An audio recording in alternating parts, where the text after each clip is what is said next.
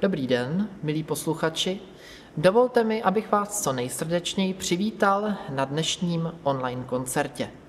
Nacházím se v sále Filharmonie Hradec Králové, kde to mám moc rád. Spolu se mnou tady je tento fešák, z Brusu nové koncertní křídlo Antonín Petrov, vlajková loď největšího výrobce akustických nástrojů v Evropě, firmy Petrov, která je v Hradci Králové doma stejně jako já. Já i Antonín už se moc těšíme, až vám za chvíli zahrajeme. Já však musím říct, že mě moc mrzí, že tady dnes eh, s námi nejsou aktéři podobných akcí, tedy orchestr a především vy, posluchači. Na druhou stranu však je pravda, že online koncerty může vidět neomezené množství lidí. Já jsem dlouho přemýšlel, jakou skladbu na dnešní koncert vybrat a nakonec jsem si říkal, že lidé chodí do filharmonie na orchestr.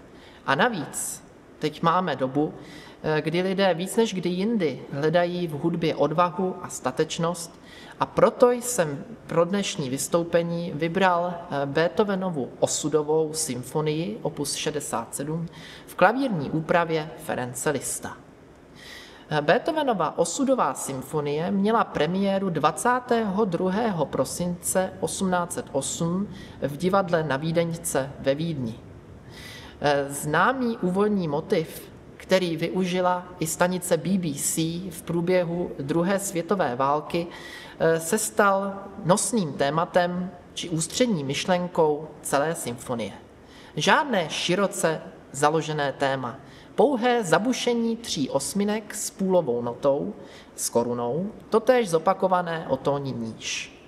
Už samotné téma ukazuje na Beethovenovu genialitu. Ať už si pod pojmem osud představíme cokoliv, naléhavost Beethovenovy symfonie nenechá nikoho na pochybách, že se před námi odehrává něco výjimečného. Zařazením tohoto díla na dnešní online koncert bych chtěl připomenout dvě letošní významná výročí, a to 250. výročí narození Ludvika van Beethovena a 75. výročí od konce druhé světové války.